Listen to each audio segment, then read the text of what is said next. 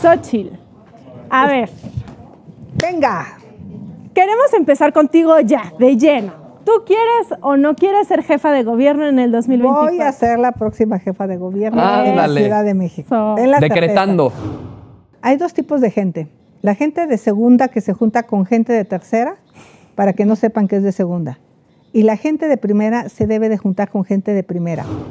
Yo creo que Claudia se voló demasiado rápido con querer ser presidenta. Y hoy está más preocupada por ganarle a Marcelo que por gobernar la ciudad y eso es lo que me parece incorrecto. Yo difícilmente soy una senadora que solo madrea.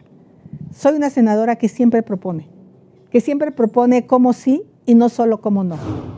Pero para mí, eh, muy superior al tema de partidos es cómo resolver los problemas de las personas, cómo resolver los problemas de los pueblos indígenas, cómo resolver los problemas de la ciudad. A mí es lo que me gusta. Y pues ya he dicho que hay tres requisitos para estar conmigo. Joven, adulto, eh, mujer, no ser ratero, no ser huevón y no ser pendejo. Bien.